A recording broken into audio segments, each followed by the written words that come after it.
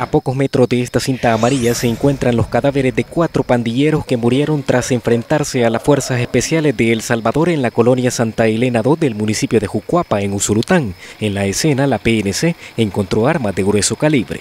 Tres armas de fuego. ¿Qué tipo de armas? Eh, tenemos ahí dos escopetas y una UCI. Con esas armas los efectivos policiales y militares fueron atacados.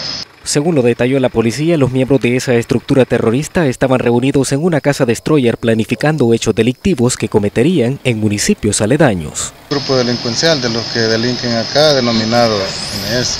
¿Tiene los, nombres son de aquí No, por el momento, como les decía, es una información preliminar. Todavía la escena no se ha comenzado a procesar.